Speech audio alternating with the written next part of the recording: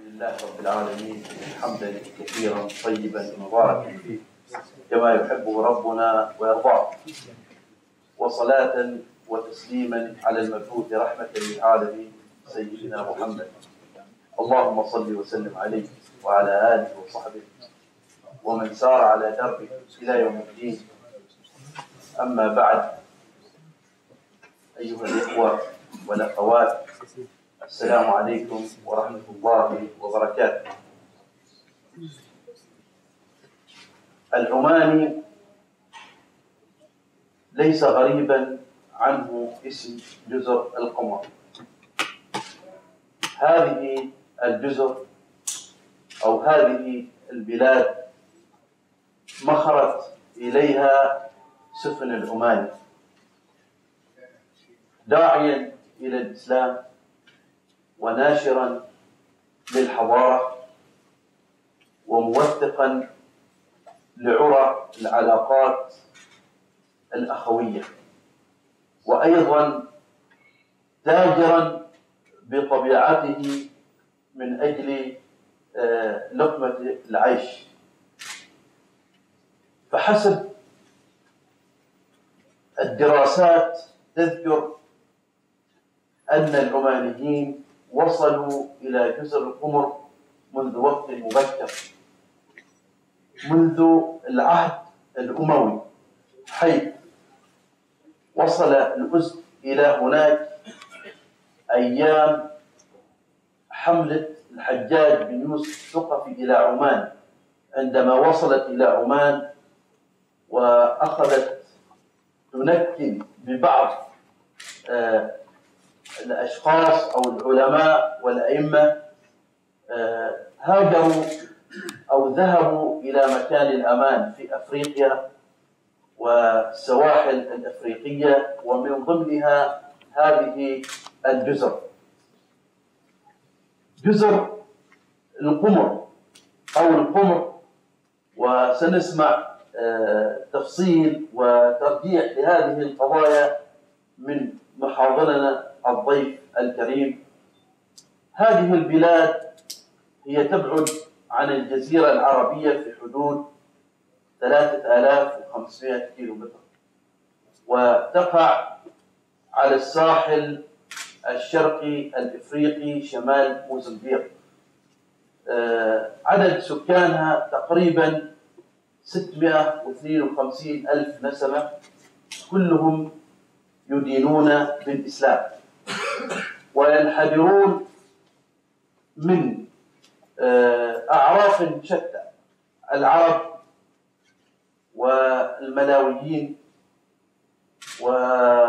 والشيرازيين ومن الأفارقة. ولهم عادات بسبب الاختلاط مع العمانيين شبيهة إلى حد كبير بالعادات والتقاليد العمانية. فالخنجر يتزينون بها والدشداشة والعمامة لباسهم الذي يحافظون عليه إلى وقتنا هذا. العلاقات العمانية القمرية ازدادت ترسيخا في زمن السلطان السيد سعيد بن سلطان البوسعيد وإن كان قبل هذا من الاتصالات ما هو معروف حيث أن النباهنة والمناذرة كان لهم وجودهم وتأثيرهم في تلك البقاع. أيضا في زمن السلطان سيف بن سلطان اليعربي كان له الولاء والطاعة والحاكم في هذه المناطق يحكم باسمه. المحاضرة اليوم ستتركز على الفترة التي كانت في زمن السيد سعيد بن سلطان البوسعيد حيث هذه الفترة اتسمت بالحراك الثقافي وبال إذا ما أردت أن أقول الصراع الحضاري أقول الحوار الحضاري بين الحضارة العربية الإسلامية والحضارة الغربية لا سيما الفرنسية والبريطانية. حيث أن هذا الحوار أو الحراك أو الصراع وصل إلى حد حتى العناية بأبناء الحكام ومحاولة آه، تربيتهم وتغذيتهم فكريا وعقديا وانتماء فالسلطان السيد سعيد بن سلطان آه، بذل جهدا كبيرا من أجل الحفاظ على الانتماء العربي والإسلامي في تلك البقاع وأرسل آه، مندوبا له آه، يسمى سعيد بن محمد بن ناصر البوسعيدي.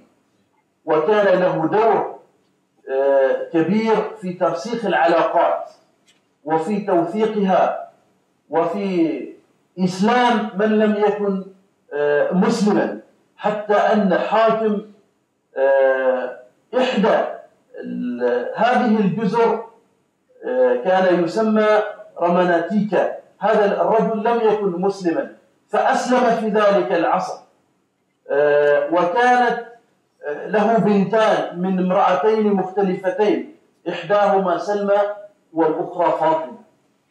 آه، وهذا الرجل رماناتيكا تغير اسمه بعد إسلامه إلى عبد الرحمن وجعل ولية لعهده ابنته الأكبر فاطمة. وكان أيضا التدخل الفرنسي والبريطاني له وجوده وتاثيره لا سيما لا سيما في جزيره جزيرة مايوت وهي من إحدى الجزر التي تتشكل منها هذه المنطقة.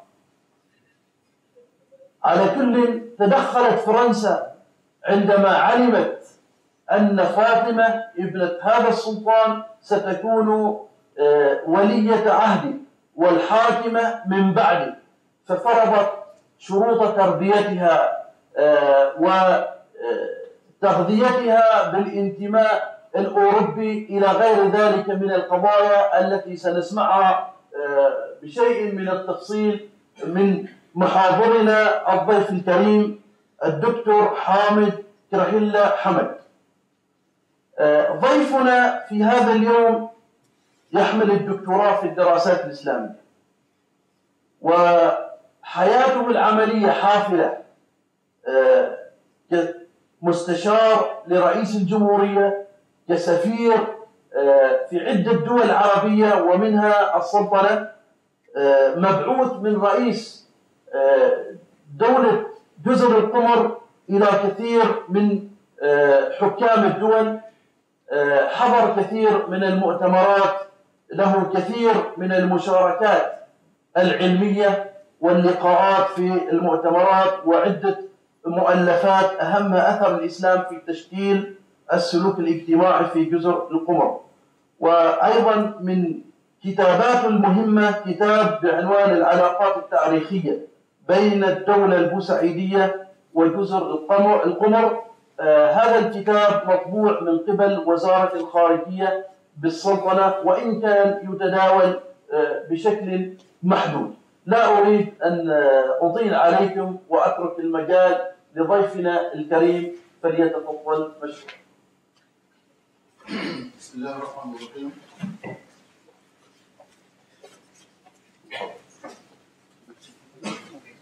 أصحاب السعادة والفضيلة.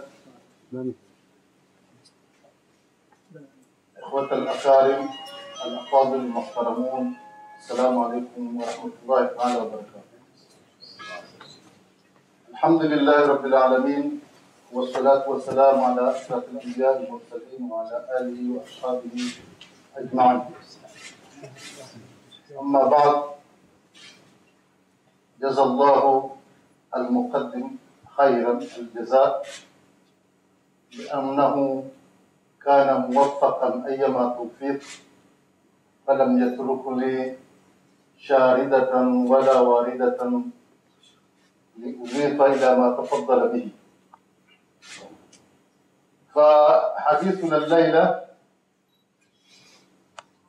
تحت هذا الموضوع الجديد الطريف الذي قدم له الدكتور وهو سيتمحور حول جنب فاطمة. ما ما لفظ جنب معناه القصر. قصر الملك قصر الرئاسة قصر. وهنا يرمز أو يدل على معنى سمو جلالة أو السعادة نسميها ما تشاء. إذا جنب فاطمة معناه سمو فاطمة أو صاحبة الجلالة جنب فاطمة. هذه المرأة التي الغريبة العجيبة الأطوار التي وصفها معاصروها من مناوئيها بأنها حالة مرضية متقلبة المزاج هذا توصيف من الفرنسيين فهذه المرأة تنافست على حبها وكسب ودها دول وأشخاص وجهات. تنافسا محموما لا يقل وطأة من تنافس هذه الجهات على بسط النفوذ والسيطرة والهيمنة وهكذا. ولعلني لا أبالغ إن قلت لا توجد امرأة في تقديري هذيت بهذا بهذا الاهتمام مثل جنب فاطمة.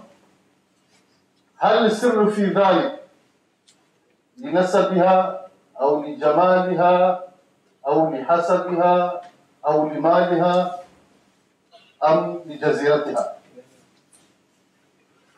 وفي هذه العجالة أيها الإخوة سنرى كم تدخلت السياسة في الحب وكم تشابك الحب في السياسة وكيف تعانقت بين هذا وذاك المصالح التجارية والاقتصادية وحتى الدينية. فجزر علاقة جزر القمر أو علاقة عمان بجزر القمر كما تفضل الدكتور هي علاقة قديمة موغلة في القدم. ضاربة الجذور. فقد ذكر أو أشار إلى هذه العلاقة وإلى هذا التواصل غير قليل من المصادر العربية والأجنبية. ومن بين تلك المصادر ما ذكره الملاح العماني ابن ماجد وما ذكره أيضا المسعودي في القرن الرابع الهجري. وما ذكره المغيري صاحب جهينة الأخبار في تاريخ زنجبار الذي وصف هذه هذا التواصل وهذه العلاقة بأنها ودية بل ذهب إلى أبعد من ذلك حينما قال سكان جزر القمر الأحرار منهم هم من عرب عمان. هكذا جاءت العبارة في جنينة الأخبار في تاريخ زنجبار والفرنسيون عندما وصلوا إلى تلك الجزيرة إلى ذلك الأرخبيل وخاصة في جزيرة ميمون في عام 1841 وجدوا السفن العربية العمانية موجودة ووجدوا العمانيين موجودين ويملكون مزارع قصب السكر والفانيليا ما ليس فانيليا والمنتجات الأخرى يعني. ومن هنا فرضت الفر... فرض الفرنسيون على المراكب العربية بافتتاح مكتب لوضع علامة العلم الفرنسي على المراكب العمانية وهذا كان في مرحلة متأخرة ومن هنا بدأ الصراع أو التنافس بين الفرنسيين وبين العرب الرومانيين وتبلور هذا الصراع على مر الأيام وتوالي الأحكام وخاصة عندما فقدت فرنسا جزيرة موريشوس التي كانت تسمى يومها جزيرة فرنسا. فقدت هذه الجزيرة لصالح البريطانيين. ومن هنا فرنسا بدأت تتحرك لطلب مناطق نفوذ أخرى فما لم يكن أمامها إلا جزيرة نسبي وجزيرة مايوت والأرخبيل القمري فعندما احتلت فرنسا جزيرة نسبي تحرك السيد سعيد بن سلطان بالمطالبة والاحتجاج لدى المسؤولين البريطانيين وطالبهم بمخاطبة فرنسا على عدم التدخل في شؤون دولهم. فرد عليه البريطانيون أن موجب الاتفاق الموقع بين بريطانيا وعمان للحفاظ على وحدة دول الإمام ولكن في الحدود التي توارثها من أسلافه وهذا لا ينطبق لا على جزيرة نسبة مدغشقر ولا على جزيرة مايوت أما والحال يختلف هنا في جزيرة مايوت لأنه عندما احتل فرنسا تلك الجزيرة والاحتلال تم بهذه الطريقة واحد من مدغشقر هرب من بلاده وجاء إلى مايوت واستولى على الحكم ثم قام بتنازل عن الجزيرة لصالح الفرنسيين مقابل مبلغ زهيد من المال وهنا تحرك الإمام السيد سعيد مرة أخرى للاحتجاج فقال لهم ميوت هذا يدخل تدخل في في إطار دولي وهي تابعة لي فإذا كنتم فيما يتعلق مدغشقر أن الاتفاق القائم بيني وبينكم لا ينطبق على هناك فهنا ينطبق تماما لأن ما ذكرنا لأن النباهنة والمنابر كان لهم وجود وحكموا تلك الجزيرة قبل دخول الفرنسيين. وتصوروا معي يا إخوان أن هنا بدأت الصراع والنفوذ بين الفرنسيين وبين العرب في من هذا القبيل. ثم تطور ذلك بشكل أكبر عندما جاء والد جنب فاطمة وهو من أصل ملقاش أيضا واسمه رمنتك وهرب أيضا من ملقاش من مدغشقر إلى جزيرة القمر ومعه مجموعة من مناصريه والمقاتلين المدافعين له. فكان ذلك في سنة 1832 والذي جرى أنه قام بالإستيلاء على الحكم أيضا في جزيرة الميل وكان ذكيا جدا.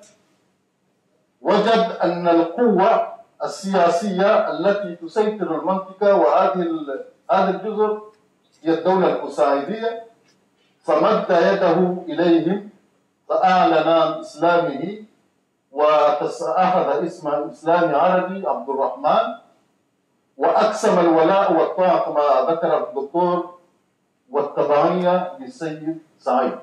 ومن هنا تعززت العلاقة بين زنجبار وجزيرة المويلي بشكل ملموس أكثر من أي وقت مضى. ورفع العلم العماني العلم البورسعيد الأحمر على قصر السلطان وهكذا. بطبيعة الحال فرنسا احتلت مايوت موجودة في مايوتي ولم تكن أمامها أن تقف مكتوفة الأيدي وهي تتربص وتخطط من هناك للاستيلاء على الجزر المتبقية. ومن هنا احتدم الصراع مرة أخرى بين الفرنسيين وبين زنجبار. وفي داخل الجزيرة بل في داخل الحكومة يوجد كبار الشخصيات من الوجهاء ممن كانوا يدافعون عن العرب والمسلمين وكانوا يمثلون السيد سعيد في الجزيرة ويدافعون عن مصالحه. وفرنسا أيضا كما قلنا تخطط للاستيلاء فبدأ يتحرك ويزرع وبدأت تتحرك وتزرع عملاء لها داخل داخل الجزيرة ولما حان موعد وفاة السلطان عبد الرحمن أو قبل وفاته وكان له بنتان كما كما ذكر فاطمة وسلمى. فاطمة وهما أختان غير شقيقتين. فوصى بأن تخلفه في الحكم فاطمة وكان عمرها في ذلك الوقت خمس سنوات. لأن فاطمة ولدت في عام 1836 ولما توفي عبد السلطان عبد الرحمن آل الوصاية إلى زوجته والدة فاطمة وفي هذه الفترة استغلت فرنسا هذه الفترة وبدأت تقدم هدايا إلى الأرملة وإلى الطفلة الصغيرة جنب فاطمة التي أصبح نظريا هي السلطانة وعمرها خمس سنوات. وهنا خطت فرنسا خطوة أخرى وأرسلت مربية لتقوم لأنه رأت أنها لا تستطيع أن تؤثر فيها وأن تتحكم فيها مستقبلا إلا إذا زرعت فيها السلوك الأوروبي والمؤثرات الأوروبية. ومن هنا قررت فرنسا إرسال مربية حاملة لتقوم بتربية جنب فاطمة وأختها سلمى. فمن هنا تحرك أيضا الإمام السيد سعيد لأنه وجد أن هذا خطر داهم وأراد أن يتدارك الوضع. وهنا اسمحوا لي أن أقرأ لكم ما جاء حرفيا. ما جاء في المدونة مدونة العمل والسلوك التي وضعت لهذه المربية لتلتزم بها في تربية جند فاطمة وأختها سلمى. وهذه المدونة وضعتها المحطة البحرية الفرنسية التي كانت في المنطقة بموافقة فرنسا باريس الوزارة البحرية والمستعمرة. فقال أو فجاء يجب علينا. هم يتكلمون.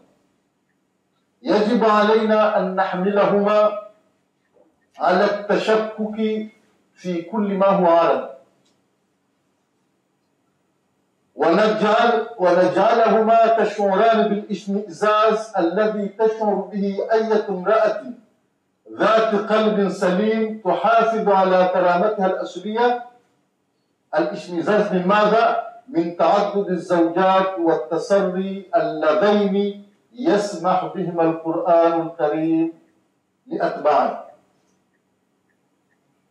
حملهما الطفلتين سلمى وفاطمة على التخلص من نير هذه العادات والسلوكيات التي يريد فرضها عليهما طبقا لعادات المسلمين. ثم مضى يقول وهذا البرنامج نال موافقة الفرنسيين موافقة وزير البحرية الفرنسية الذي جاء في خطابه المؤرخ بباريس في 18 سبتمبر 1847 موجه إلى الآمر الفرنسي في جزيرة مايوت ورد في هذا الخطاب لا أستطيع أن أرى في مكان آخر في المهمة التي تلقيتها منكم شيئا ليس من المرجع. وأوافق تماما على ذلك يعني على ما ورد في المدونة أوافق على ذلك تماما. شريطة أن يقتصر على بدء تعليم سلطنة سلطانة مويلي لغتنا وعاداتنا وعاداتنا والديانة الكاثوليكية. ثم وصلت هذه المربية وصلت إلى الجزيرة وبرفقة المسؤول الفرنسي وصلت إلى الجزيرة مويري وباشرت مهمتها في 25 ديسمبر. ولعل الإخوان آه، يدركون ما ما آه، آه، هذه المصادفة وفي السياسة لا توجد شيء اسمه المصادفة. اختاروا هذا التاريخ 25 ديسمبر لأنه هو التاريخ الذي يحتفل فيه النصارى من عيسى عليه الصلاة والسلام. وقد أبدت هذه المرأة المربية مهارات في القيام بمهمتها والمهمة كانت تتمثل على ضوء ما رأينا في المدونة في شيئين اثنين. أولهما تربية البنت أو البنتين وتعليمهم اللغة الفرنسية والسلوك الأوروبي والديانة الكاثوليكية. أما البعد الثاني أن تكون هذه المرأة مخبرة تتابع عن كثب تحركات ونشاطات الدولة البوسعيدية والعرب في تلك الجزيرة وتبلغ عنها إلى السلطات الفرنسية في ميو. فهذه هي مهمة هذه المربية. ثم كان هناك رد فعل السيد سعيد لما علم بإرسال هذه المربية فتحرك من جانبه وكان يود أن يرسل موظفا من قبله ليقوم بإدارة الجزيرة. ثم تطور الأمن إلى أبعد من ذلك حيث حان موعد التتويج الفرنسيون قرروا على تتويج هذه المرأة رسميا. فجاء مندوب من فرنسا وأقام بحفل ونظم حفل التتويج وألقى وكان ذلك في 26 مايو 1849 فأقرأ لكم أيضا ما جاء في كلمة التتويج لمحاولة فهم مغزاها. إنني هذا الممثل الفرنسي يتحدث. باسم فرنسا أعترف بسيادتك الأموال وأحييك بصفتك ملكة لهذه البلاد. ولديك وحدك حقوق تولي الحكم فيها. وفرنسا وهي تتنازل لآخر أمنية لأبي متوفى. قد حكت قد حققت رغبة مشرفة بالاعتراف بأن ليس هناك أحد يحق له أن يمارس أي تأثير عليك في إدارة شؤون حكومتك. ليس هناك أحد يمارس عليك ضغوط يمارس عليه حق. يريد أن العرب. وإنني إذ أضع على جبهتك أو على جبينك هذا التاج الذي أرسلته فرنسا هدية لك. لأعبر لك أنك مستقلة وأن الوجهاء الذين يستطيعون لا يستطيعون من الآن فصاعدا أن يتصرفوا فيك. لقد وصلت إلى سن يمكن أن تفهمي فيه أهمية موقفك. وإن فرنسا وهي توفر لك حماية معنوية لا تنتظر منك أي مقابل في كل الظروف ولا تود التدخل في شؤون الداخلية للبلاد. ولكن ألح فقط على أن الرجل الذي ستختارينه ليكون زوجا لك أن يكون ذلك من اختيارك أنت. لا يفرض عليك. ومن أجل مصلحتك أنت. أطلب أن ينال ذلك الخيار قبل تنفيذه موافقة الحكومة الفرنسية. إذا التدخل واضح. فرنسا تشترط ألا تتزوج هذه المرأة إلا بأمرها.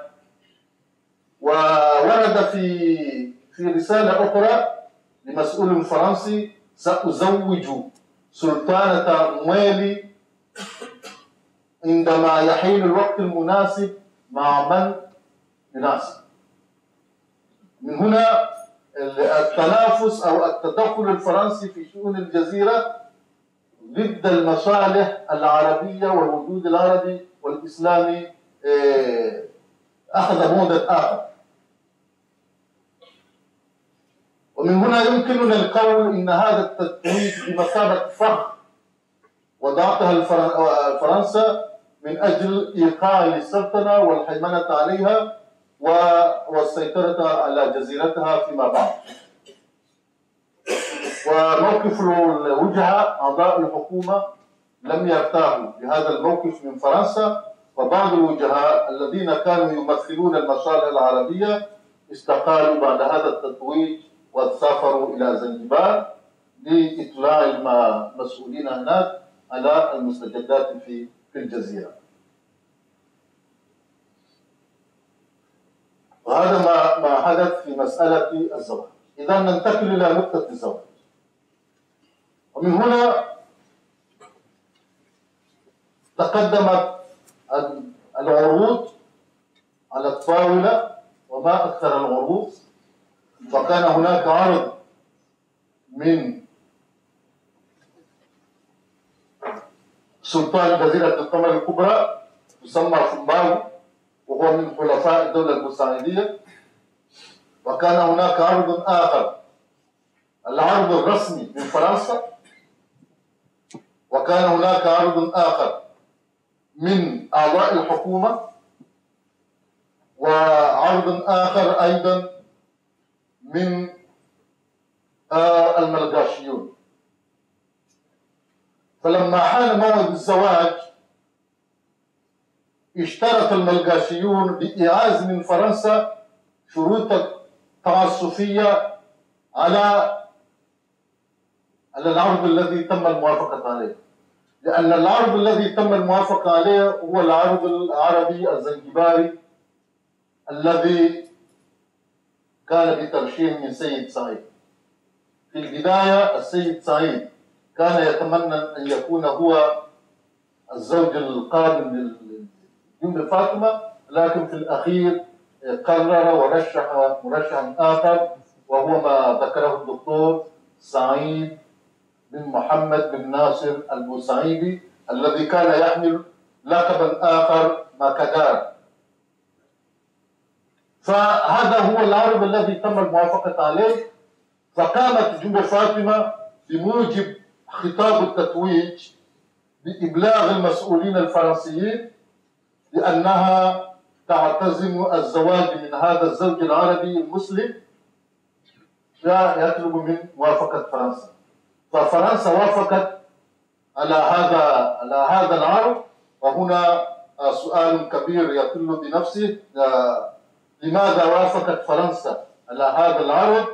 لأنه كما رأينا آه، أوعزت إلى الملقاشيين لوضع شروط تعجيزية إذا من جهة وافقت ومن جهة زرع رقيب وهذه الشروط التعجيزية اسمحوا لي أيضا أن أن نراها ونقرأها. لنقف على أبعاد الخطيرة بهذا الموضوع. فهي عشرة شروط وضعهم الطرف الملغاسي الشرط الأول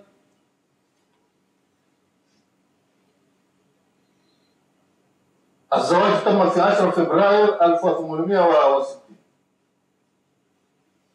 وفي يوم الزواج حلف السيد محمد بالقرآن. جابوا له مصحف وطلبوا منه أن يحلف.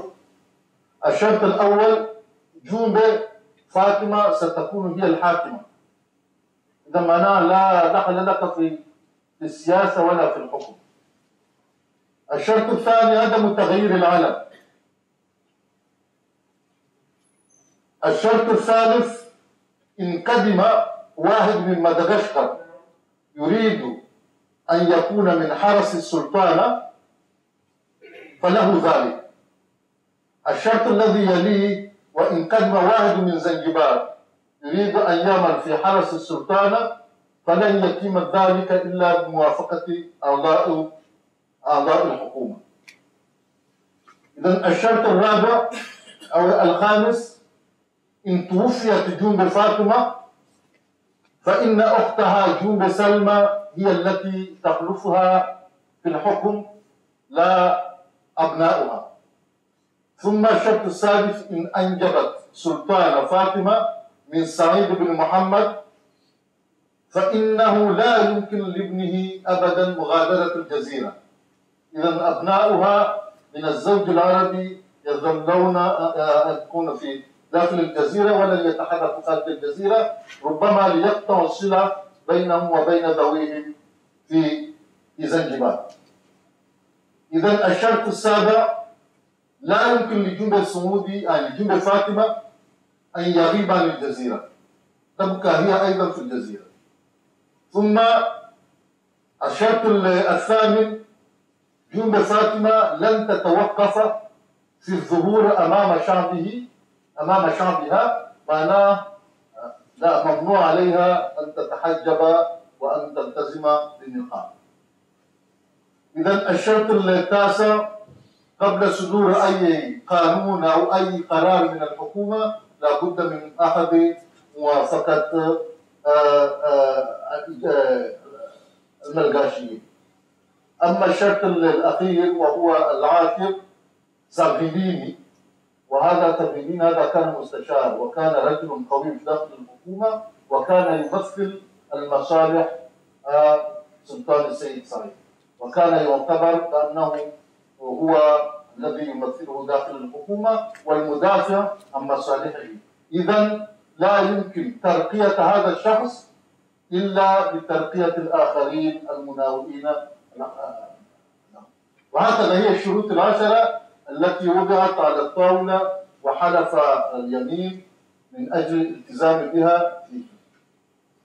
ومن هنا أصبحت تم العقد وهذا الزواج استمر لمدة 12 سنة وأنجبت جوب فاطمة من زوجه العربي من زوجها العربي ثلاثة أولاد محمود ومحمد ومحمود وعبد الرحمن. وتدخل الفرنسيون بشكل أكثر وبدأوا يزرعون المشاكل وبدأوا يتهمون سعيد لأنه يتدخل في شؤون الدولة وأنه يتحكم وأنه كذا وأنه كذا.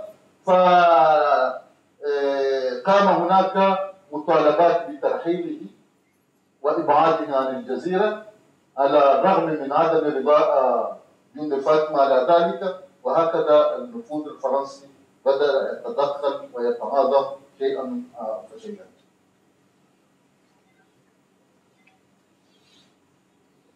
وفي هذه الفترة بعد فترة الزواج هذه كان هناك الخلاف الذي كان بين السيد ماجد والسيد ثوين هنا في في في مسقط. فتحرك من جزر القمر كتيبة عسكرية لمساندة السيد ماجد وكان يترأس هذه الكتيبة العسكرية سعيد بن محمد بن ناصر. وهذه الكتيبة كانت في زنجبار وطالما أنه لم تكن هناك حرب في كون البريطانيين تدخلوا وصار الصلح بين بين الاخوين اذا استخدم السيد ماجد العسكريين القمريين الذين قدموا من هناك في حرسه الخاص. وهناك نقطة أخرى أنه بدأت هذه المرأة تشعر بأن حاشيتها تهيمن على الحكم على الرغم منها فبدأت أيضا تتوجه نحو فرنسا لطلب حماية الفرنسيين. ثم تطور الأمر أيضا إلى أن جاء الفرنسيون ووقعوا معها معاهدة لإقامة مزارع في الجزيرة. وهذه المعاهدة تمت بناء على الضغط وعلى اختلاف الحابل لأنه كانت هناك علاقات غير شريفة بين هذه المرأة وبين هؤلاء الفرنسيين وتطور الأمر إلى أن تم انتزاع هذه الاتفاقية. ولما انتزعت هذه الاتفاقية ووقعت عليها كان هناك رد فعل من زنجبار لم تنظر حكومة زنجبار بعين الرضا إلى هذه الاتفاقية فأرسل السيد ماجد ثلاثة ثلاثة إخوة وهؤلاء الإخوة الثلاثة هم أبناء الصعيد من زوج زوجته العربية الزنجبارية واسم واحد منهم اسمه سيف والآخر عبد الله والثالث لم نقف على اسمه. وهؤلاء الإخوان سبقوا أن كانوا في جزيرة المالي عندما كان أبوهم متزوجا من من جند فاطمة. فقام سيف بالزواج من جند سلمى.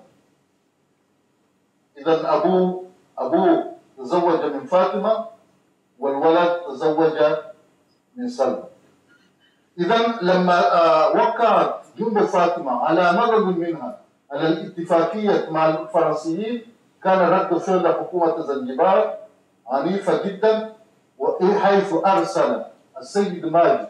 هؤلاء الإخوان مرة ثانية إلى إلى الجزيرة لمقاومة هذه الاتفاقية وبالفعل وصل سيف وأخوات إلى إلى الجزيرة وبدأوا يحركون الناس واستطاعوا التأثير على جند فاطمة فتراجعت جند فاطمة من من الاتفاقية فحاولت العدول عنها فما كان أمامها إلا أن تستقيل. قدم استقالتها وترك الحكم وهنا ربما نفهم الغرض لأن هذا الاقتراح المقدم لها من أجل الاستقالة الأخ سيف سيف هو الذي أشار لها هذا الاقتراح. ومن هنا آل الحكم إلى ابنها محمد من محمد بن سعيد بن ناصر المساعد ومن هنا هذا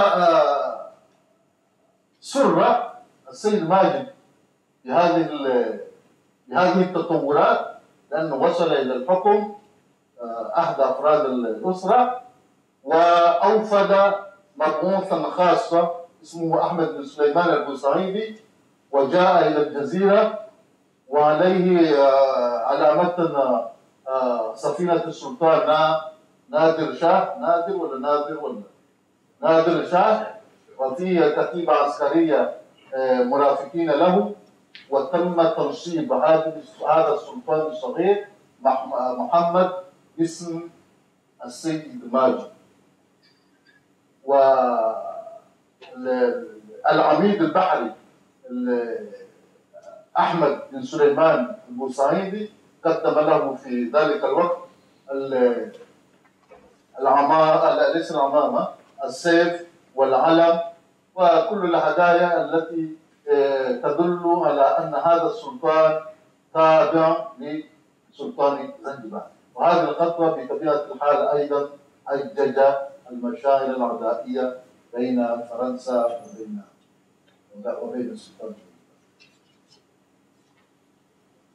ومن هنا سافرت جنب فاطمة. وقبل أن تسافر تدخل القوات الفرنسية. الأسطول الفرنسي تدخل لتثبيت الاتفاقية. طالما أن جنب فاطمة حاولت التنصل العدول عنها فتدخل الأسطول الفرنسي لتثبيت الاتفاقية بالحديد والنار. وتم قصر قصر السلطان وكان هناك قتلى قدرت الضحايا جند فاطمة نفسها قدرت الضحايا بعشرين قتيل ومن هنا تنحت من عن الحكم لصالح ابنها وسافرت إلى زنجبار لتبادل أو مشاورات مع السلطان السيد ماجد. السلطان السيد ماجد في ذلك الوقت بحاجة ماسة إلى التعاون الفرنسي وإلى إرضاء الفرنسيين وعدا كذا. إذا كان آه، خطوة وخطوتين إلى الوراء. فمن هنا قامت السلطنة فاطمة بسفرها إلى باريس لإقلاع المسؤولين الفرنسيين الرسميين بهذا الموقف الذي استجدت في الجزيرة. وهي الموقف الذي يتمثل في عدولها عن الاتفاقية. وطلب تعويضات لقصف الجزيرة وهكذا هي أهم ما المهمة التي كانت بها إلى فرنسا. ولكن من بين الوفد المرافق لها إلى فرنسا كان هناك سيف بن محمد. ومن هنا نظر الفرنسيون إلى جنب فاطمة أن هذه الزيارة فرنسا لم لم تتجاوب إيجابيا لم تتعامل إيجابيا مع جنب فاطمة نظرا لوجود سيف إذ فسرت فرنسا أن وجود سيف معها في هذه الزيارة معناه أن النفوذ العماني ما زالت قوية في في في في في, في تلك في تلك الجزيرة. فبقيت سلطانة فاطمة في في فرنسا حوالي ثمانية أشهر ثم عادت من حيث أتت إلى زنجبار فلما عادت إلى زنجبار لم تستمر آه، هناك آه، طويلا حيث توفي السيد ماجد. ثم في فرنسا أيضا وقع آه، الحرب بين الألمان وفرنسا فتدهورت فانهارت الإمبراطورية الفرنسية. ومن هنا وجدت سلطان فاطمة أن فرنسا في موقف ضعف. وأن السلطان السيد ماجد متوفى فقررت هي العودة إلى جزيرتها مرة ثانية. ولما عادت إلى الجزيرة وكان السلطان في ذلك الوقت كما قلنا ابنها فجرى هناك تعديل الاتفاقية التي كانت مبرمة بينها وبين بين المزاور الفرنسي وتوفي محمود وعادت هي إلى الحكم مرة ثانية وقبل أن تعود إلى الحكم تزوج زواجا آخر من زوج قمري ولكن عميل لفرنسا اسمه السيد عمر وهو جد سيد إبراهيم. وتزوج دون فاطمة وهذه كان بعدما مات زوجها العربي سيد بن ناصر. فتزوجت مرة ثانية من زوج آخر قمري ولكن بموافقة أو بإعازة من فرنسا. ولم يستمر هذا الزواج طويلا ثم تزوجت مرة أخرى مع آه، آه، الزواج الثاني كان في 1864 أما الزواج الثالث كان 1871 الزواج الرابع كان 1875 إذا جوب فاطمة آه، توفيت وعمرها 42 سنة وتزوجت أربع مرات. هذا بغض النظر عن المغامرات الأخرى غير غير شريفة. المهم من هذا الباب من هذا الباب تمكن الفرنسيون من السيطرة على الجزيرة ولكن كل ما هنالك أنه بعدما توفيت أبناؤها حكموا ولكن كلما مر الزمن كلما ضعف الحكم إلى أن وضعت فرنسا يدها على كامل الجزيرة وهكذا باختصار شديد أترك المجال للذين يريدون أن يتدخلوا ويضيفوا.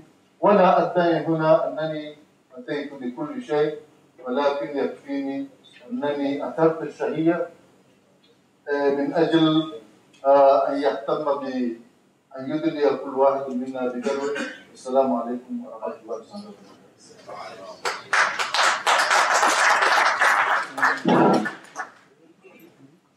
دكتور حامد باسم الحضور الكريم أتقدم إليكم بالشكر الجزيل على هذه المحاضرة القيمة والتي من خلالها استطعت أن أستخلص موضوعين آه، مهمين. الموضوع الأول العلاقات المدينة بين آه، العرب آه، في عمان وبين سكان جزيرة جزر القمر. هذه العلاقة الوطيدة التاريخية التي تجمعها وشائد الدين واللغة والأهداف والتي توثقت والحمد لله في هذا العصر في آه، عهد جلالة السلطان قابوس المعظم التي وإن كانت هذه العلاقات أصبحت من نوع آخر آه، في ظل دولتين آه، ذات سيادة إلا أن هذه العلاقة المعاصرة آه، ترضينا وتطمئنا أن مسيرة الأخوة باقية وتزداد قوة. أما الجانب الثاني الذي استخلصته من محاضرتكم القيمة على أن الذي حصل بين الفرنسيين وأطماعهم وبين العرب آه، في هذه الجزر هي في حقيقتها صورة مصغرة لحقيقة كبرى. هذه الحقيقة الكبرى هو الصراع الحضاري القائم بين الحضارة الإسلامية والحضارة الغربية. ولا يمكن أن نصنف هذا هذا الجانب أو هذه العلاقة غير الإيجابية إلا في هذا الجانب. فإذا كانت آه، جزر القمر تقع في طريق آه، رأس الرجاء الصالح وفي طرق المواصلات وتنقل التجارة بين الشرق والغرب في الماضي فطرق التجارة في هذا الوقت آه، تسهلت ولا يمكن أن تعتريها عقبات من نوع أنه دولة تقع في موقع معين إلى غير ذلك. لكن لكن على الرغم من ذلك آه، فرنسا ما زالت إلى هذا الوقت آه، تتحكم في هذه الجسر رغم فقرها الاقتصادي ورغم أن المردود المادي منها فيما أتصور من خلال معلوماتي قليلة جدا لكن نسمع عن الانقلابات ونسمع عن الهيمنة الفرنسية مما يدل على أن المسألة مسألة حضارية وليست أيضا فقط مسألة آه، مصالح اقتصادية آنية. على كل حال آه، أترك المجال لمن آه، يرغب أن يشارك في المداخلة أو بالاستفسار. تفضل. تفضل. لو تكرمت تذكر اسمك ومداخلتك.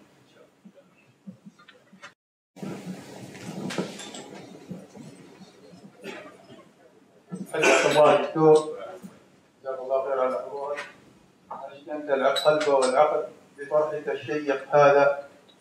آه، حقيقة الأمر تتكلم عن شخصية بارزة لها وقع مؤثر في التاريخ آه، السياسي في تاريخ زنجبار جزيل الخير. آه، لدي تساؤل عن هذه الشخصية التي كوبا فاطمة. تساؤلي هو ما ذكر أو أنك ما ما تطرق إلى شخص هذه الشخصية التي أثرت في الفرنسيين في الجزيرة في العمانيين. هل هذه شخصية قيادية أم شخصية انقيادية؟ ماذا كان توجهها؟ ما هي كانت قراراتها؟ هل كانت يا ترى مغيبة؟ أم كان لها رأي حاسم؟ ما هي البصمة التي وضعتها هذه الشخصية؟ هذا سؤال صار بذلك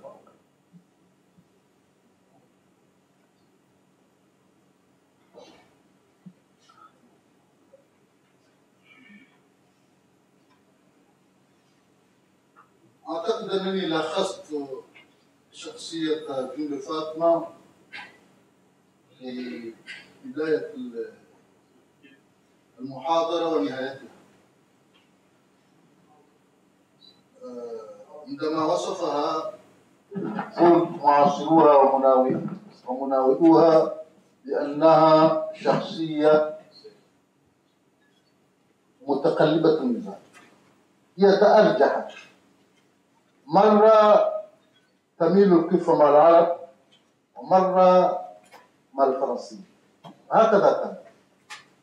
هي ولدت مسلمة لأن أباها أسلم وأخذ اسم عربي إسلامي. وكما قلت أبوها كان ذكيا لأنه يريد أن يثبت الحكم ما كان أمامها إلا أن يتودد ويتقرب إلى إلى إلى الدولة الكبرى الإسلامية لأن المواطنين لن يقبلوا. أن يحكمهم كافر. لأن الجزيرة كانت تابعة للعرب قبل قبل أن يأتي هو إذا ليعزز العلاقة أسلم. جود فاطمة وولدت مسلمة. ثم لما أرسلت إليها المربية الفرنسية وقامت هذه المربية الفرنسية بتدريسها اللغة الفرنسية والسلوك الأوروبي والديانة الكاثوليكية أخذت تحولا ومالت إلى الغرب إلى السلوك الأوروبي مما أثار غضب المواطنين غضب الأهالي وطالب الأهالي لإبعاد تلك المربية وترحيلها. ولما رحلت مات في نفس الأسبوع لأنه تم تصميمها في في في هذه المرحلة جند فاطمة كانت مع الفرنسيين ثم لما جاء موضوع الزواج وتزوج من الشخص العربي المسلم تنقب وتحجب. حتى في في الكتاب الذي ذكره الدكتور هنا كتابي بها صورة وهي جالسة وهي منقبة. وجلس بجانبها لزوجها. في هذه المرحلة عندما كان في عصمة الزوج المسلم العربي ما شاء الله كان محتشما. وكانت تدافع المصالح العربية والوجود العربي. كيف؟ ثم كان هناك الضغوط الحاشية ضغطت ضغطوا عليها ثم مال مرة أخرى إلى الفرنسيين. إذا لم لم تكن. وباختصار الشديد في نهايتها تزوج من فرنسي رجل فرنسي وأنجبت منه ولدين من هنا هذه المرحلة لا نصدر أحكام. إذا المربية المخابرة الفرنسية أثرت ولم تؤثر. هذا ما قلنا.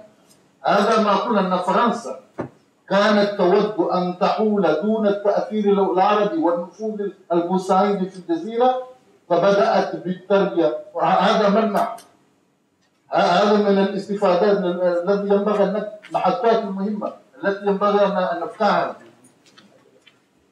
بدأت بالهدايا فرنسا ثم ثنت بإرسال مربية المربية. هذه قامت بتدريس اللغة الفرنسية وسلوك هي كانت كانت تتكلم اللغة الفرنسية جل ثم جاءت إليه مرحلة أخرى وتركت اللغة الفرنسية وبدأت تتحدث باللغة المحلية. إذا هي كما وصفت أنها كانت زين زين.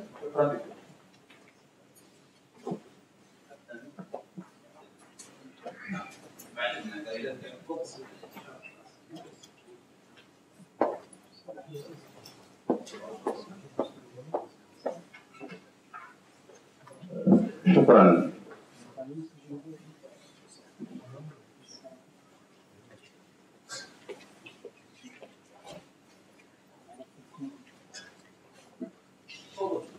شكرا سعادة الدكتور.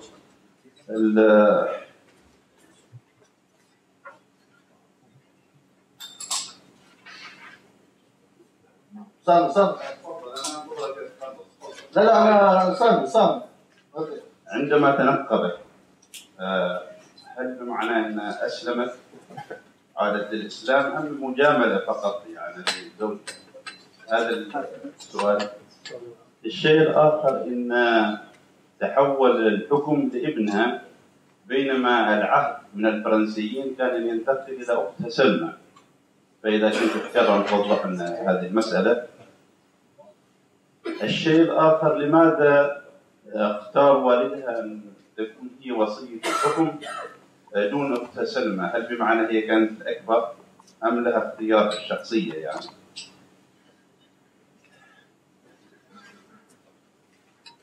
هذا ما ما فقط. لماذا؟ أكيد يعني لماذا كان والدها نص أن تكون هي وصية من بعد على الحكم يعني؟ بين دون سلمى دون سلمى يعني. هل هي لكونها يعني بحكم شخصيتها أم لكونها الأكبر في السن يعني. شكرا. إذا بالنسبة لل هل أسلمت حقا؟ هذا الذي كنت ما ما أستطيع أن أصدر أحكام. كل ما هنالك. ها؟ آه، ال- كل مولود يولد على الفطرة. أبوه كان مسلم. مسلما عندما ولدت ابن فاطمة. وكانت هناك قبل أن تأتي المربية الفرنسية كان هناك حاضنة محلية كانت آه، مرضية لها لها. فأعتقد أعتقد أنها كانت مسلمة. كانت مسلمة و وكان لها مواقف في الدفاع عن العروبة وعن كذا وكذا عندما كانت في عصمة في عصمة الزوج. ولا يمكن نفسر أنه في فترة لأنه كان هناك فترة تم إبعاد الزوج وهي ظلت على علاقة أو على ذكر من زوجها وهكذا يعني. إيه، أما السؤال الثاني لماذا انتقل إلى ابنها ولم ينتقل؟ آه سلمى توفيت سلمى توفيت قبل أن يموت. ها؟ آه. يعني تو- توفيت لم تكن حية. عند عندما تنحت آه، جنب فاطمة عن الحكم سلمى لم تكن حية. وماتت وهي في عصمة سيف. بس المصادر الفرنسية ها؟ اتهمت اتهمت سيف بالدلوع في وفاة سلمى هذا هو السبب. ثم بعد ذلك لماذا السلطان عبد الرحمن وصى بفاطمة؟ فاطمة هي الكبرى. إيه إيه هو الكبرى وتكبر من سلمى بسنتين.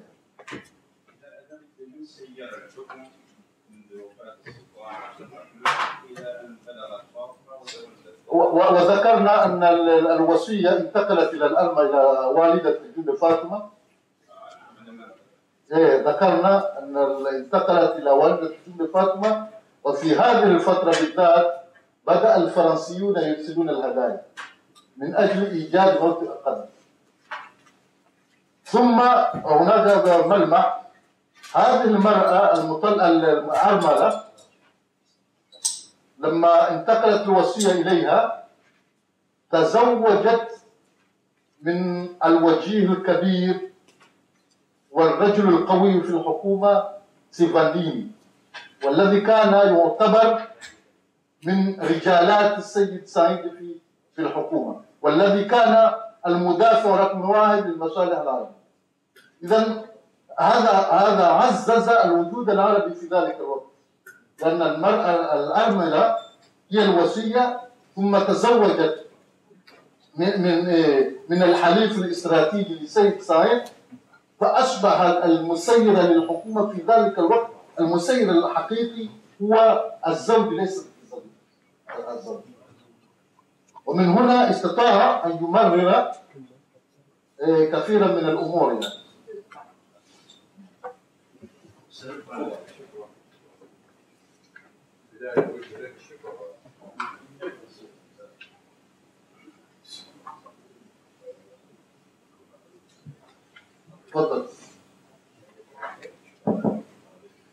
في البداية نوجه لك الشكر دكتور حامد على هذه المحاضرة وعلى الأخوة القائمين كذلك عليها آه، هذه المواضيع حقيقة استقراء استقراءات بالذات في البلاغ والحياة اليومية.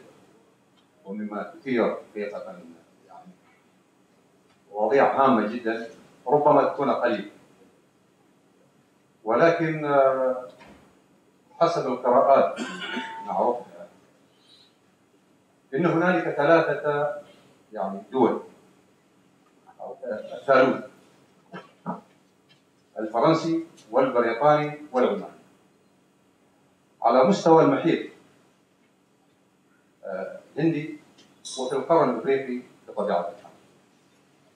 الوجود العماني بصورة عامة مثل ما يعرف الجميع هو ليس وليد القرن الثامن عشر أو منتصف القرن الثامن عشر وإنما هنالك يعني آه، له امتداد منذ فترة منذ عهد باهنه بل حتى قبل على مستوى حتى التجار ولما نرجع لتاريخ بصورة هذا العام ممكن إنه حديث متواصل وحديث فيه يعني متشعب.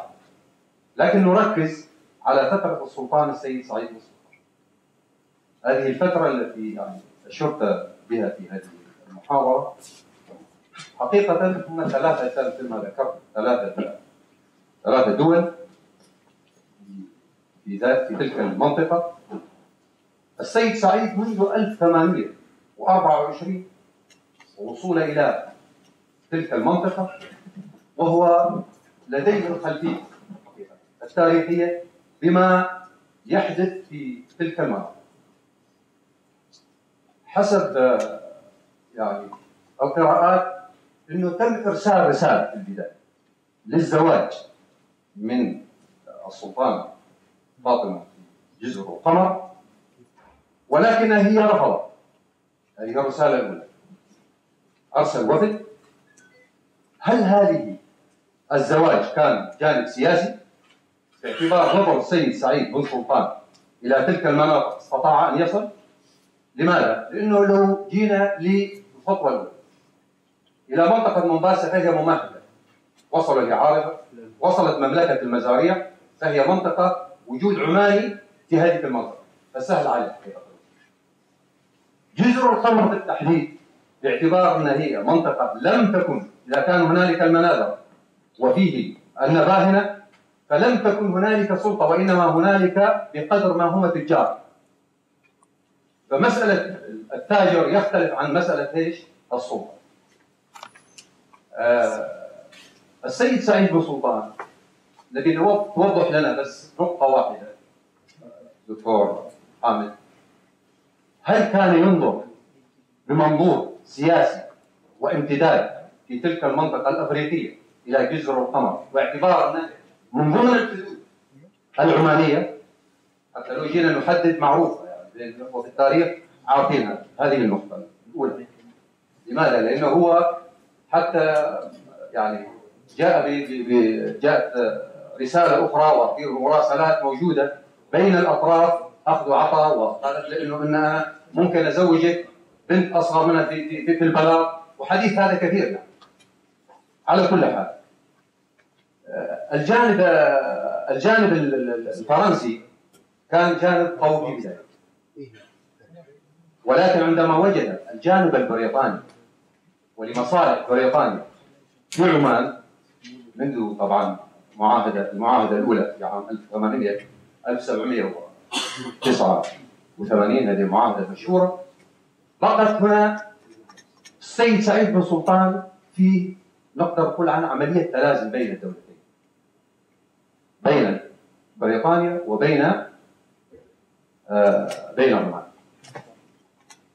الشيء اللي بنوصل له حقيقة في هذا الجانب هل كانت يعني السيد سعيد بن سلطان دعم بالجانب التجاري مثل ما عمل في باقي المناطق الدواخل الإفريقية عن طريق سواء كان عن طريق الأسلمة تجارة أو إنه هو طبيعة الحال لم يجد الأرضية القوية في جزر القمر لمساعدته للوصول إلى تلك المنطقة.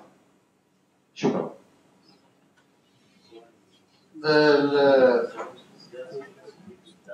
بالنسبة للسيد سعيد أنه أرسلت رسالة أو كذا. أنا أعتقد أن آه، النية كانت قائمة. خلال الاطلاع لم أجد مكان أشار إلى هذه الرسالة. كل ما هنالك إلا إذا كان رسالة شفوية. لأن سافيدين هذا الذي ذكرته هو كان رجل سيد سعيد وهو الذي كان يذهب ويسول ويجول بين زنجبار وكذا. وحتى السيد سعيد آه، بلغ الفرنسيين عن رغبته في الزواج من وال- ووجود المربية هي هو الذي أفشل الزواج من من السيد سعيد وبالتالي ها ما لا يدرك كله لا يدرك جله غير شخص آخر. صحيح؟ إذا أما النقطة الثانية لم يكن هناك سلطة في في الجزر. أنا معك أن التاريخ التواصل العماني القمري لم يبدأ. مع السيد سعيد كان هناك قبل وقد أشرت إلى ذلك في مع بداية ال- المحاضرة. عندنا 45 دقيقة. لا نستطيع أن نقف على كل شيء. لا يكفينا أن نأتي برؤوس أقلام ثم القضايا التفصيلية آه، ما في الكتب أو في كذا. و- والدليل على ذلك والدليل على ذلك آه، ما أشرت أن أبو المسعودي وكذا ذكروا هذه العلاقة.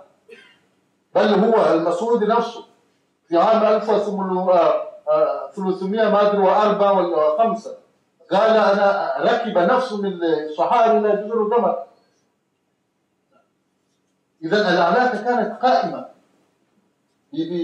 وفي آه، فترة السيد سلطان السيد اليعاربة آه، رسالة خطية. وقد ذكر في بعض الكتب أن هذه الرسالة كانت معروضة في في في متحف زنجبار في عام 1900 وفي الثلاثينيات من القرن الماضي الرسالة كانت موجودة هناك. إذا العلاقة كانت قائمة وأيضا آه، لا لا أوافقك في كون أنه لم يكن هناك سلطة في الجزر.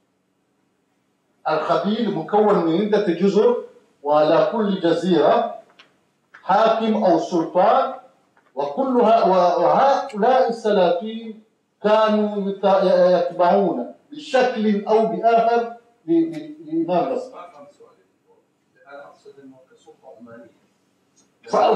أتي لما ننظر بس فقط إلى مثلا على سبيل المثال إلى موجود المزارع إذا ما هناك رغم إنه يعني وجوه الوجود الفرنسي كان لا يعني قريب جدا إلى يعني إلى إلى إلى الاطار أو إلى التوجه مع المزارع. أكثر من يالبوسا هذا معروف.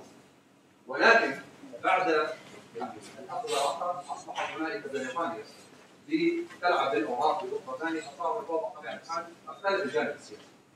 في في جزر القمر لم يجد لم يكن هناك موجود. لم تكن هناك وجود سلطة. أي ما وجود سلطة عمانيه أنا أقول إن في وجود التجار لكن يختلف التاجر أن تبقى هنالك والي أو تبقى, هنالك يعني نخب قوية في الجانب السياسي.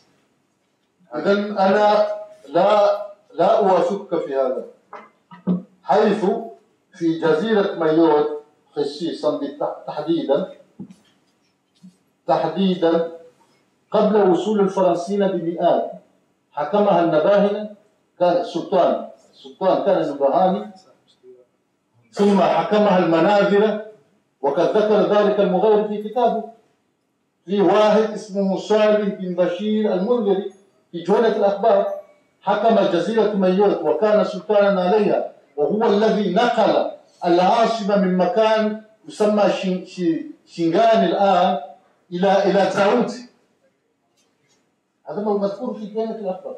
إذا كيف كان سلطان من من من المنازل؟ ويذكر اسمه. وأنه تحا و...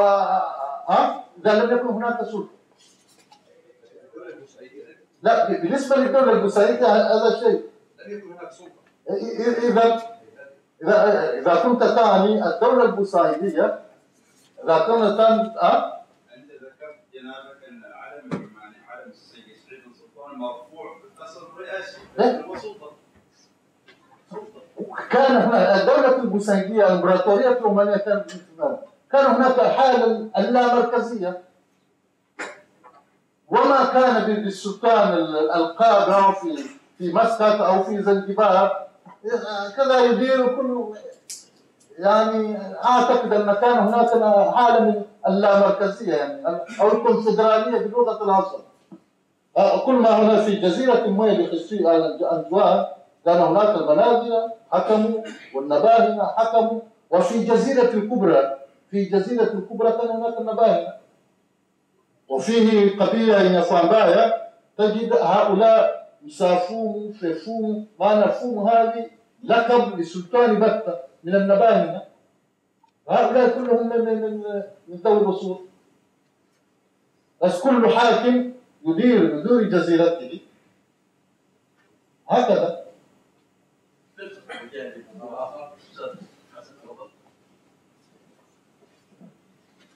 شكرا جزيلا دكتور حامد. آه، لدي سؤالان قصيران. اولا آه، الفرنسيين طبعا اتهموا العرب بالضلوع في في في قتل أو موت آه، سلمى. فهل نستطيع أن نقول أن الزوج الفرنسي بالمقابل يعني له دور في تقصير عمر زوجته فاطمة يعني بالمقابل يعني هل له دور في هذا الجانب؟ آه، سؤال آخر آه، ما هي نسبة الوجود العربي الآن تقريبا يعني أو الحضور العربي والإسلامي في في جزر القمر؟ شكرا.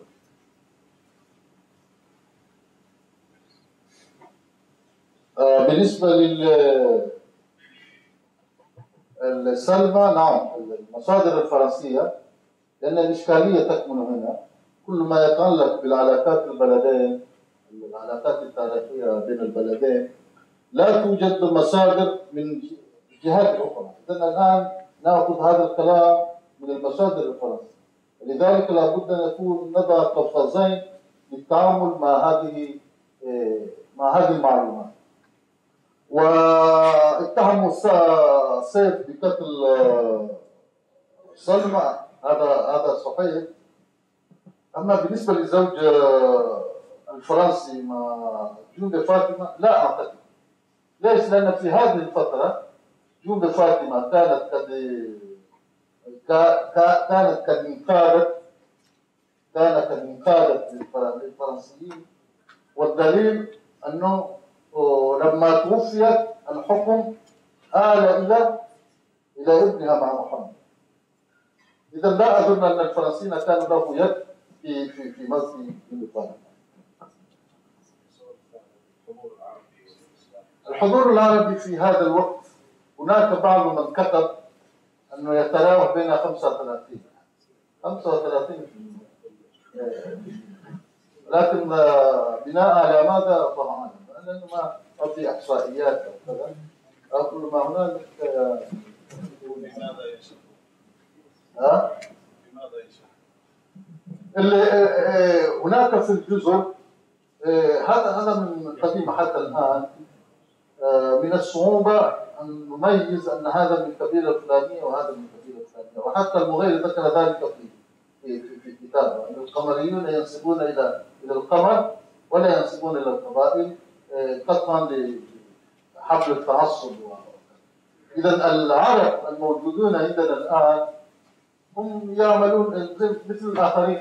يعملون في التجارة يعملون في السياسة يعملون في كذا. وما في شيء قيود كذا تمييزية بين إنسان وآخر.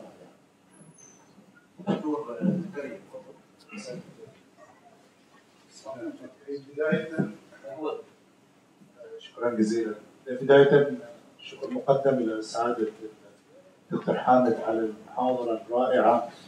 وعلى يعني إعادة روح التاريخ إلى حاضرنا الآن خاصة معظم الحضور هم من جيل الشباب. آه، طبعا العلاقة العمانية بأفريقيا كما تفضل المتحدثان أنها ضاربة في القدم البعض أيضا بالمناسبة يذهب إلى أنها هي أقدم حتى من ظهور الإسلام. الوجود العربي ليس العماني فقط الوجود العربي في الجزر في القرن الإفريقي هو وجود قديم جدا وهناك البعض يشير إلى وجود قبور آه، عربية في تلك المنطقة لأن الأمة الإفريقية كانت آه، أكثر انحيازا إلى الغابات آه، منها إلى التواصل والتنقل الحضاري. تفضل الشيخ طبعا تحدث عن أن العمانيون انتقلوا أيام غزو الحجاج أو حملة الحجاج واننا قتل علماء كثر في عمان أنا في تصوري لم يكن في عمان علماء في تلك الفترة لأن العالم الأوحد العماني المعروف في تلك الفترة هو كان الإمام جابر وتلامذته لم يكونوا عمانيين تلامذته كانوا مصريين والعمانيون ذهبوا إلى التلامذة المصريين وتعلموا منهم ورجعوا بعد ذلك وتأسس العلم العماني في أيام الدولة العباسية. ف عندي كان عندي سؤال لكن سبقني إليه الأخ حسن فقط عندي ملاحظات بسيطة على ما ذكر. بداية الحديث حول تنقب جنب فاطمه الفقه العماني سواء كان في شقه الإباضي أو في شقه الشافعي هو ليس متعصبا لمسألة النقاب فأنا أستغرب الحديث عن مسألة النقاب وربطها بقضية الإسلام والبعض حتى صار يتحدث هل هي فعلا مسلمة؟ لأن الآن كأنها مارست طقسا ضروريا للاعتراف بإسلاميتها هذه نقطة النقطة الثانية هي قضية يعني النضج الفكري الديني لدى العماني في زنجبار بحيث إنه سمح بولاية المرأة، الولاية العامة، لأنها تكون حاكمة عامة. يعني في الفقه الإسلامي إلى فترة قريبة جدا هذا كان يعتبر من المقدسات التي لا يجوز الملوك إليها. فالقبول قبول الفقه العماني سواء كان في شقه الاباضه أو في شقه السني. بهذا الأمر هو أمر يدل على نضج التعامل مع مسألة الولاية بالنسبة للمرأة وأيضا احترام مكانة المرأة. آه، موضوع آخر هي قضية التعامل الفرنسي. التعامل آه، الفرنسي مع القضية مع أنها قضية سياسية لأنه كان تعامل بعيد المدى. عن طريق قلب مربية محاولة تغيير المناخ الفكري والثقافي بينما للأسف كانت ردة الفعل العربية هي ردة فعل محاولة ممارسة السطوة الاجتماعية عن طريق الزواج عن طريق آه، إدخال العناصر الأخرى مما يدل على أن نحن ثقافيا كنا للأسف الشديد لم نكن بالمستوى الذي نستطيع أن نقارع فيه يعني الاخطبوط الفرنسي في التعامل مع الأوضاع. آه، طبعا كان السؤال اللي تفضل الأخ حسن هو عن الوجود العربي الآن. طيب أنت تكلمت انه نسبه 5% ولكن هل هناك شعور قومي بالانتماء إلى العروبة؟ آه، بين هؤلاء الخمسه ثلاثون هل يمكن أن يؤثروا في القرار السياسي القمري بحيث يناصر القضايا العربية على القضايا الإسرائيلية لأن كما نعرف إنه إسرائيل تحاول أن تنتشر في منطقة القرن الإفريقي وكان لها نفوذ حتى في أيام يعني ثوره الأفارقة ضد العرب في زنجبار كان لهم حضور أيضا لأنهم هم لا يريدوا للعرب أن يتواجدوا في تلك المنطقة. شكرا جزيلا. بالنسبة لل أشكرك على ملاحظاتك وعلى تعليقاتك. أما السؤال هل يوجد شعور قومي في جزر القمر؟ أنا أعتقد أن آه، عند سماع مثل هذا الكلام والمحاضرة وغيرها أو التتبع والاستقراء التاريخ السياسي والصراع أو التنافس بين فرنسا والعرب في في جزر القمر آه، هم الفرنسيون يتعاملون معنا في نفس الأسلوب وفي نفس الطريقة التي تعاملوا معنا بها في في في السنوات الماضية أو في الأحكام الماضية. نفس الضغوطات نفس المداخل بهذا الأسلوب أسلوب حتى الآن.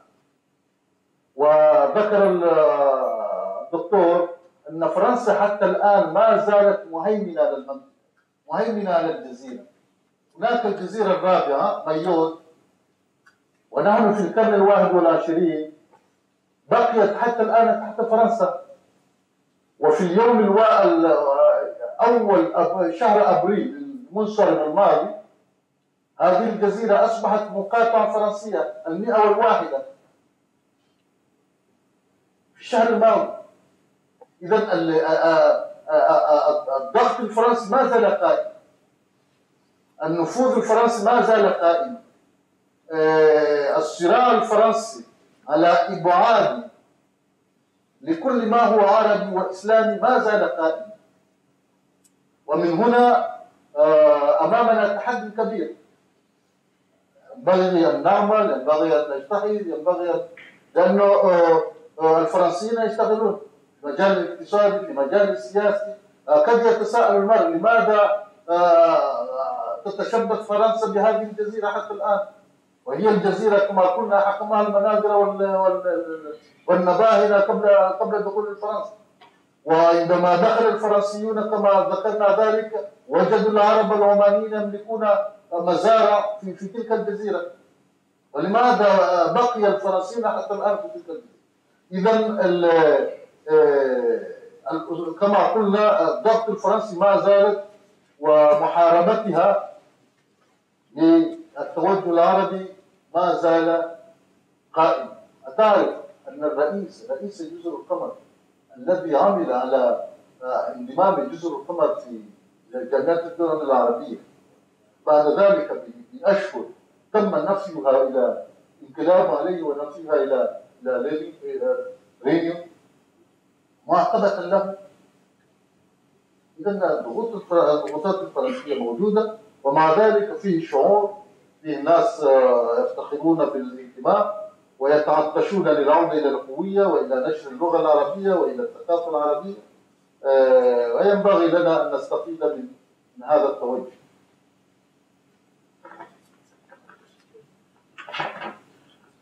أنا شخصيا أرى أن الدافع للانضمام إلى الجامعة العربية مؤشر إلى الشعور القومي العربي. آه هذا المؤشر آه دافع قومي انتمائي أكثر من أنه مصلحي. آه لأن المؤشرات أن وقبل شوي كنا نتحدث في المكتب قال من لهذه القاعة آه ذكر الدكتور أن المساعدات التي كانت تأتي إلى جزر القمر قبل انتمائها إلى الجامعة العربية ومنظومتها من الدول الأخرى أكثر من الآن. آه، مع أن المساعدات من الدول العربية لهذه الدولة الناشئة أيضا قلت الآن فهذا يكفي مؤشر على أنه انتماء فعلا؟ وهوية آه، يحافظ عليها. نعطي الجانب هذا. المقابل تفضل. صوتك واضح. إن شاء الله.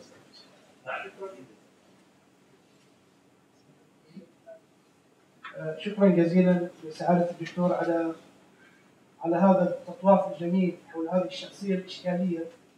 آه، والتي استطاع أن يقدمها لنا ربما حسب ما تابعت المحاضرة عن طريق الاعتماد على الأرشيف البريطاني الأرشيف الفرنسي عفوا.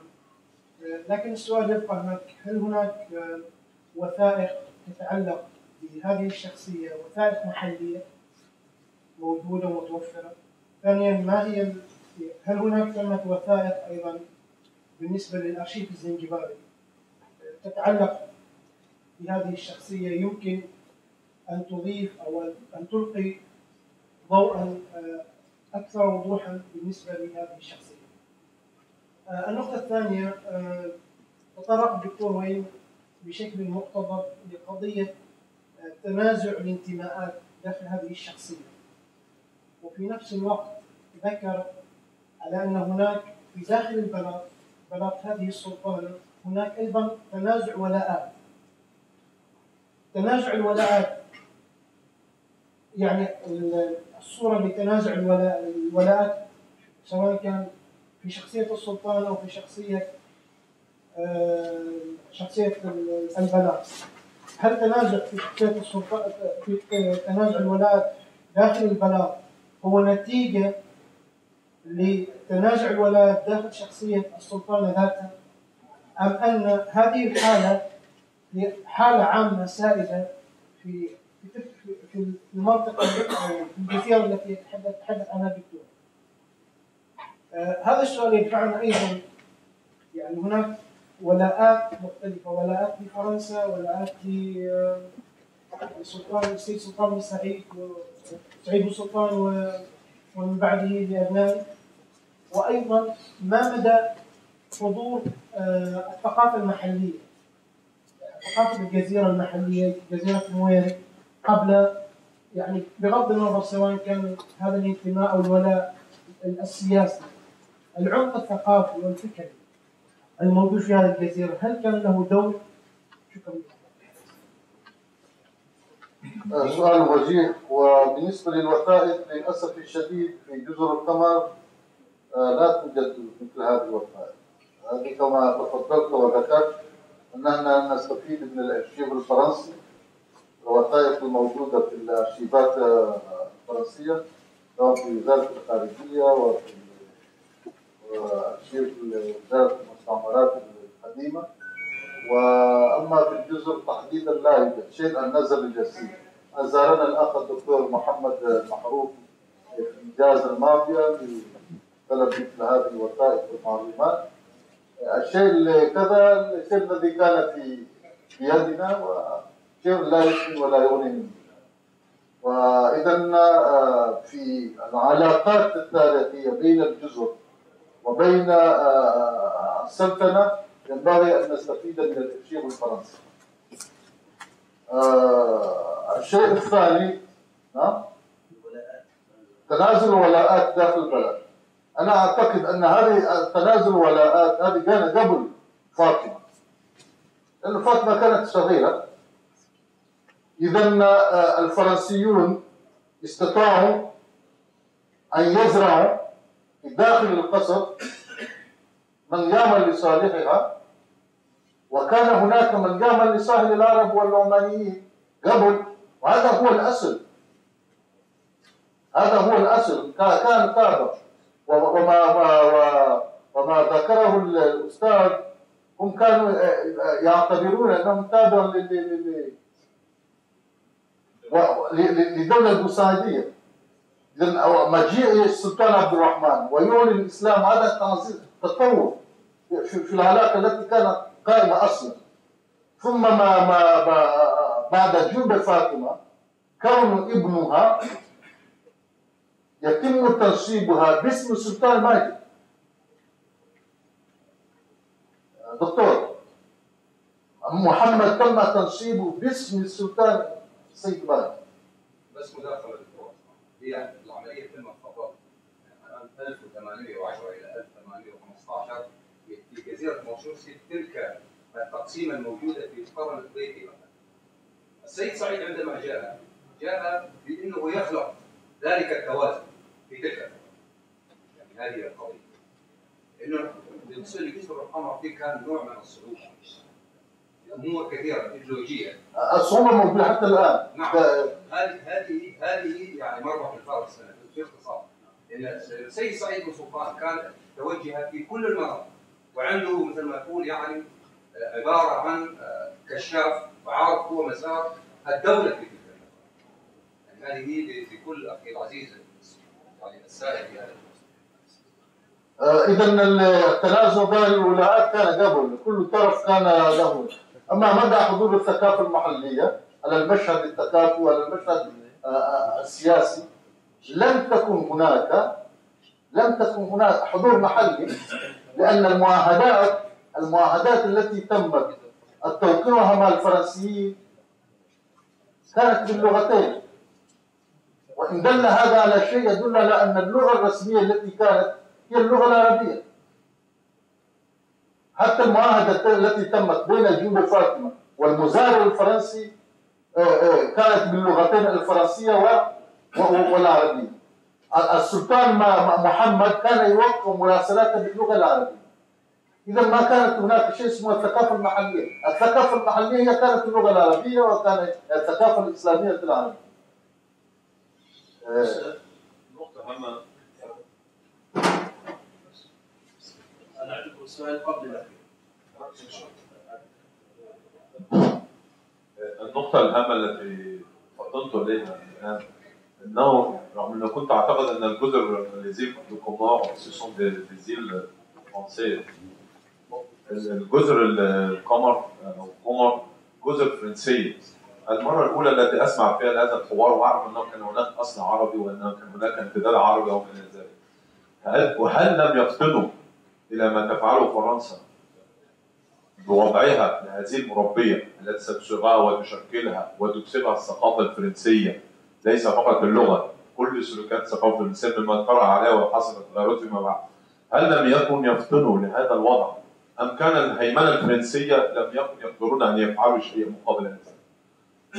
كما أن يفرضوا مربية عربية أو يفرضوا ثقافة عربية أكثر أو يقربوها من النبع العربي أكثر أو من التقاليد العربية أكثر لأن أنا عندما أسمع أجد أن فرنسا يعني ليس فقط وضعها المربية لتكسبها كل شيء من خلال اللغة والثقافة ومن ذلك والتربية والسلوكيات هل كان هناك ردة فعل؟ هل كان هناك شيء يحدث على أرض الواقع؟ آه، ردود الأفعال كانت موجودة سواء على مستوى المحلي يعني الحرب كر وفر صح؟ ليس بالضرورة أن تؤدي إلى نتيجة إيجابية أنا عندما عندما فرنسا قررت إرسال المربية كانت هناك مقترح نقل جنوب فاطمة من من- جزيرتها إلى زنجبار لتربيتها هناك عند السيد شفت كيف؟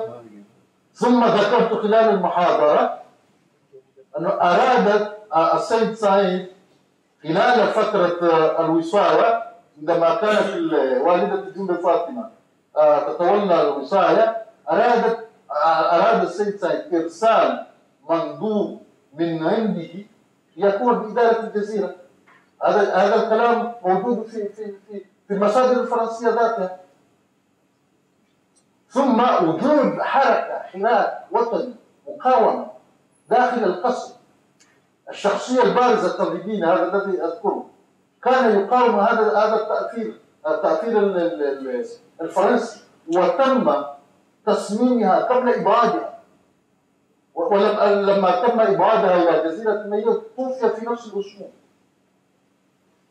وذكر أن الطباخه طباخه ال- الملكة هي التي هو الذي هو الذي وضع الصلح اذا آه، كون آه، وجهاء الجزيرة أعضاء الحكومة تقوم برسالة احتجاج وترسلها إلى الملكه وتطالب بإبعاد هذه المربية التي جاءت وتفسدك وت- وتأتي بسلوكيات لم نعهدها من قبل. هذه هي روح المقاومة. أما كون فرنسا في الأخير اكتسبت هذا شيء آخر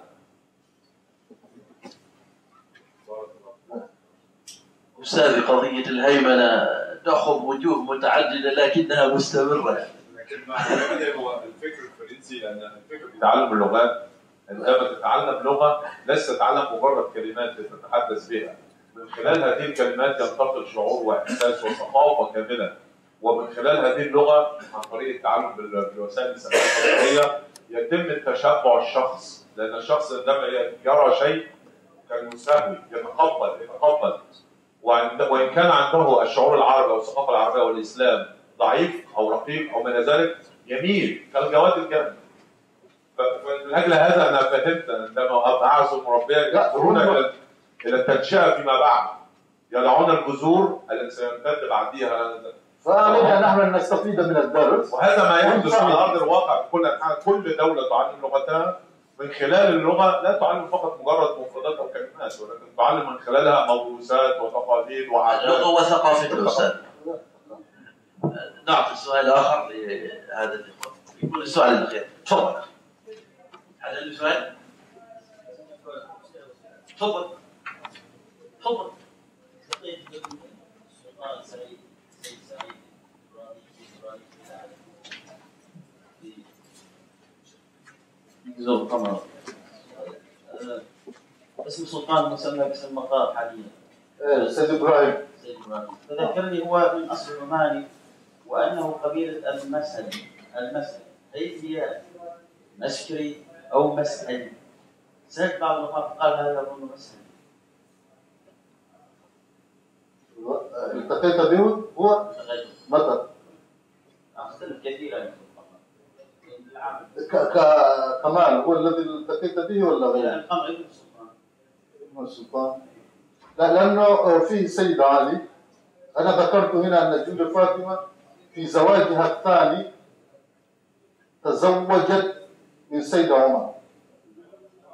ومعذرة هذه العائلة عائلة هذه كانت عائلة عميلة للفرنسا من وحتى الآن.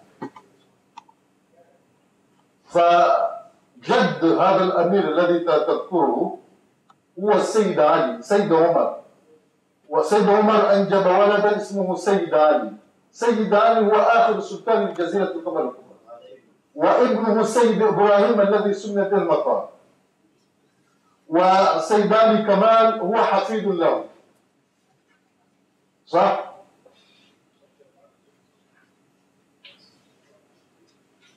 إذا والعائلة يسمى المسيل المسيل ليس المسكن ليس المسحل ليس المسحل المسيلي المسيلي ماذا هل في في هذا يوجد هنا ولا في حضرموت في حضرموت ولا كذا؟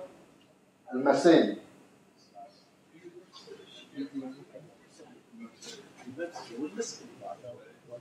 وربما لصعوبة نطق الهاء فنطق النسيج المسألة لأن الهاء في اللغات الأجنبية لا لا لا.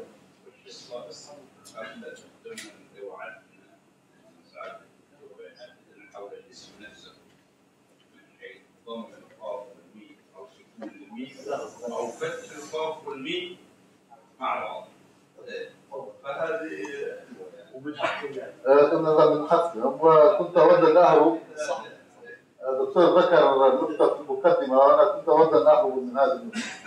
ال- ال- المهم ال- سواء ضم القاف والميم. والميم وهو الأصح ورجع ذلك الناس العقول ويعزون ذلك في إيه إيه نعم. وزار الجزر وكتب كتاب جولة في في جزائر بحر الزين. آه، وهناك الرواية بالضم القاف وسكون الميم. آه، يعزون هذه الرواية إلى طير الجمال. قمري. القمري. يذكرون أن هذه الطيور كانت توجد هناك وتوجد في الجزر وكذا. أما رواية آه، آه، أحمد بن ماجد هو ذهب إلى أنه إلى قامر بن سام بن نوح. أنا في ذكر ذلك في ال- في إحدى الجزائر أن جزر القمر بن بن نوح وهناك رواية أخرى ضم آه، فتح القاف والقمر. يقولون العرب عندما وصلوا إلى هناك سموا الجزر بهذا ال- جزر القمر نسبة إلى القمر لأنه وجد الضوء مضيئة شديدة التوقد وأحسن مكان. لمشاهدة القمر هو جزر القمر وهكذا يعني هذا. أما في الوقت الأخير هذه الرواية الرسمية يفتحون القمر بفتح القمر القمر إيه، جزر القمر وي- ويعتبرون أن آه، الكوموروس باللغة الإنجليزية أو كومورو بالفرنسية تحريف من من ال- من الاسم العربي. وهناك آه، شيخ كبير ووقور كان عاش في زنجبار الشيخ برهان محمد مكلا سيبويه زنجبار وقد رجح هذه الرواية القاف في إحدى مخطوطاته الذي يسمى تاريخ جزائر القمر وقد رجح فتح عنه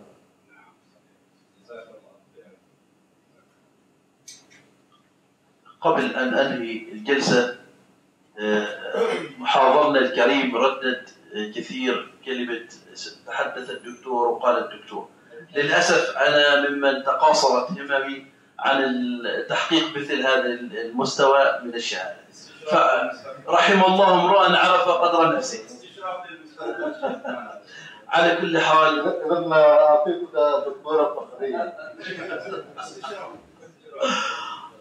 باسمكم جميعا إخوتي الكرام أشكر ضيفنا الكريم الدكتور حامد كرهيلا حمد آه، من بلادنا العزيزة آه، جزر القمر على هذا اللقاء الطيب وهذه المحاضرة آه، الشيقة والتي حركت أشجاننا وحسستنا بأمجادنا وبتأريخنا الذي يجب أن نكون قريبي الثقة قريبي الصلة بهذا التأريخ وبهذه الحضارة. حياكم الله. وإلى